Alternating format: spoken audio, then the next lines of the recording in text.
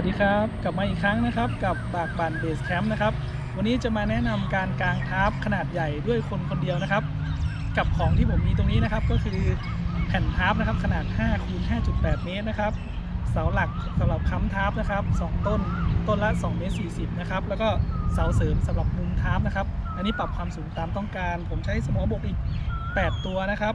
พร้อมกับสปริงลดแรงซึ่งจะใช้เท่ากับจำนวนของสมอบกนะครับ แล้วก็เชือกขอนยาง เดี๋ยวเริ่มต้นกันเลยครับผมครับผมเริ่มต้นนะครับ เราก็จะเริ่มต้นโดยการนำแผ่นทับมากางให้เรียบนะครับ ตามขนาดของทับเลยนะครับ ผมเต็มหน้ากว้างเลย แล้วก็นำเสาหลักแล้วก็เสาเสริมมาวางตามตำแหน่งที่เราจะตั้งนะครับ ผม เดี๋ยวเราจะมาขึงเชือกล้างเสาแล้วก็ต่อสมอบกกันนะครับ ผมเชือกเราจะเริ่มต้นจากการขึงเชือกชุดแรกก่อนนะครับ ก็คือเป็นเชือกสำหรับล้างเสาหลักนะครับ ผม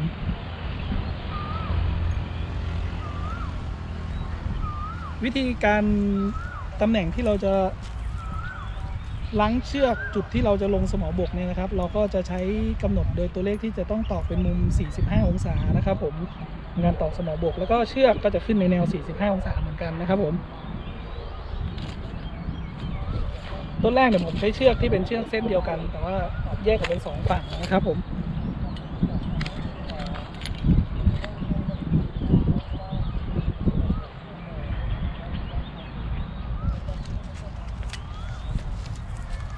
การ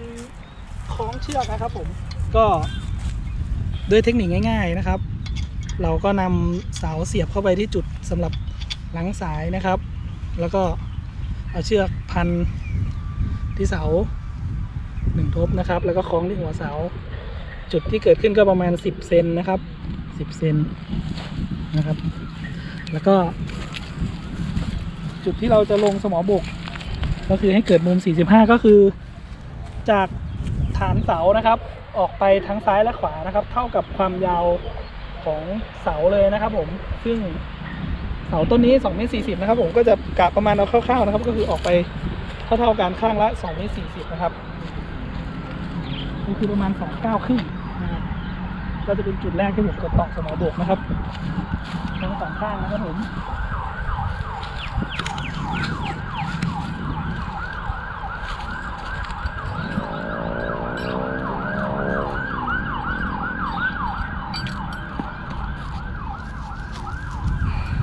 เวลาตอกสมอบกนะครับ เราก็จะตอกเป็นมุม 45 ให้ปลายของสมอบกนะครับพุ่งตรงไปที่จุด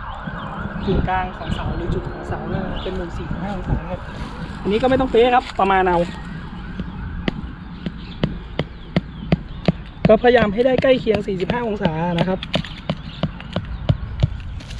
จากนั้นก็ปรับสายนะครับ ให้หย่อนหย่อนๆไว้นิดนึงเวลาเรายกขึ้นนะครับ มันจะได้ ตึงพอใกล้เคียงแล้วเราค่อยมาปรับตึงอีกครั้งหนึ่งหลังจากเราตั้งเสาเสร็จแล้วนะครับ ก็คล้องกับเชือกคาราเบนเนอร์ แล้วก็ตัวสปริงล้างสายนะครับ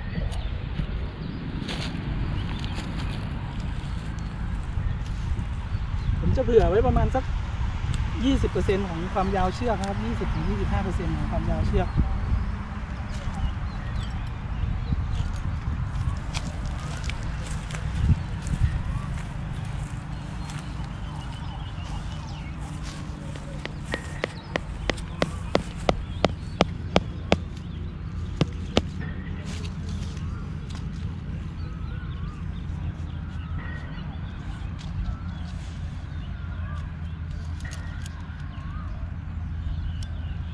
เข้าไปง่ายๆ ครับไม่มีไม่ไม่ยากครับ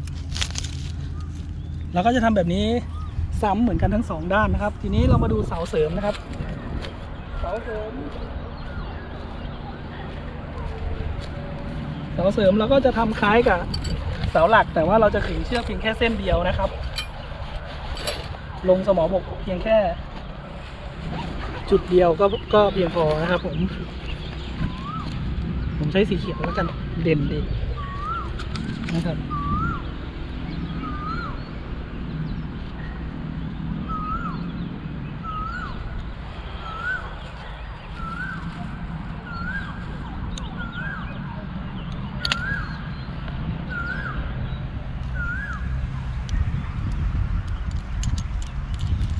ตำแหน่งที่เราจะต่อสมอบกก็เหมือนกันครับ ก็แต่นี้เราอยู่ตรงมุม ฝั่งขวาแล้วก็จะก้าวออกไปทางฝั่งขวา เท่ากับความยาวของเสาที่เรากำหนดไว้นะครับ อันนี้ก็ประมาณเมตรห้าสิบนะครับ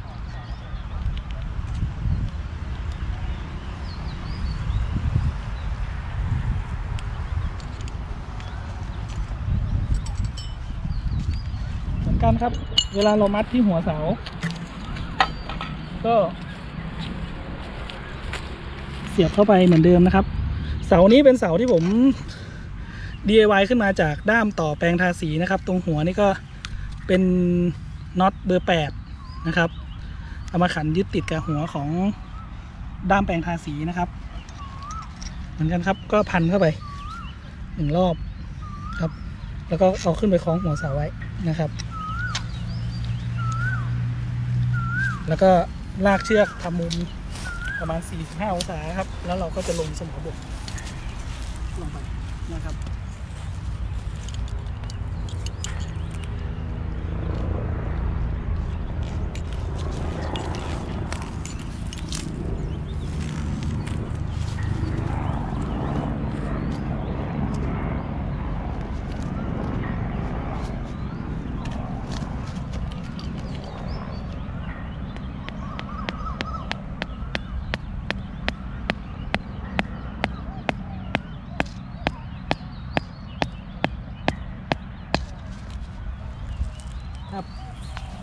เราก็จะทำแบบนี้ซ้ำๆจนครบทั้ง 6 จุดที่เราวางไว้นะครับผม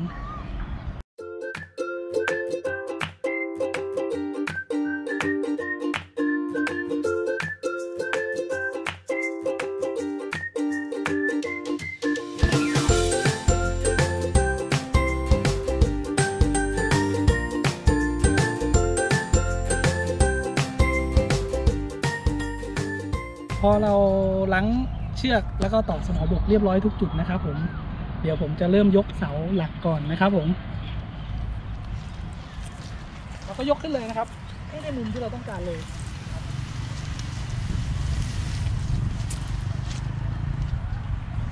เมื่อยกต้นแรกนะครับ แล้วเดี๋ยวเราจะไปยกต้นข้างหลังต่อเลย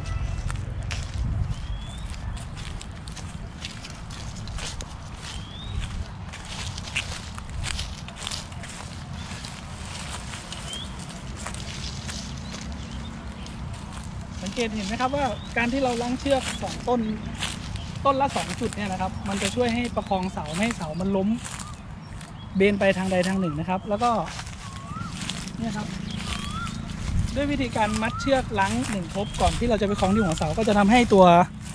เสาที่เราทำไว้ไม่ไม่เลื่อนหลุด ไม่ต้องมายกอีกครับ แล้วเราก็จับเสาต้นเสริมตั้งขึ้นให้ได้ตามมุมที่เรา ให้ได้ตั้งฉากกับพื้นนะครับ ให้ได้ตามมุมที่เราวางไว้นะครับ ผม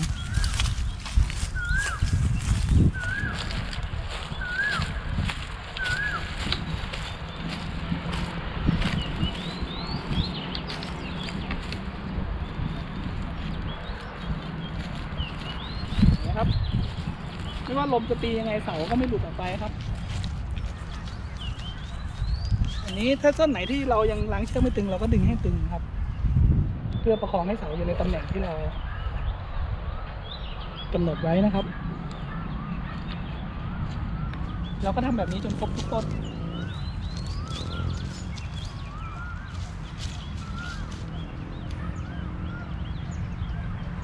เมื่อเราตั้งเสาจนครบแล้วนะครับ เมื่อเราตั้งเสาจนครบแล้วนะครับผม เดี๋ยวเราก็จะเริ่มตึงเชือกให้ตึงพอดีนะครับ ไม่ต้องตึงมากเกินไป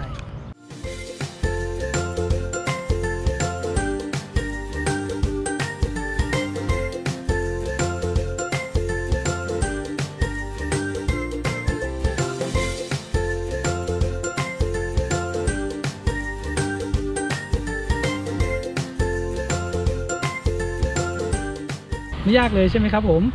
กับการกาง tarp ขนาดใหญ่ด้วยคนคนเดียว หวังว่าเพื่อนๆคงจะได้ไอเดียไปใช้กาง tarp ของตัวเองนะครับ สะดวกสะดวกง่าย ๆ ไม่ต้องง้อใคร ขอบคุณมากครับ จากบักบันเบสแคมป์ติดตามชมคราวหน้านะครับ ว่าผมมีอะไรจะมาแนะนำอีก สวัสดีครับ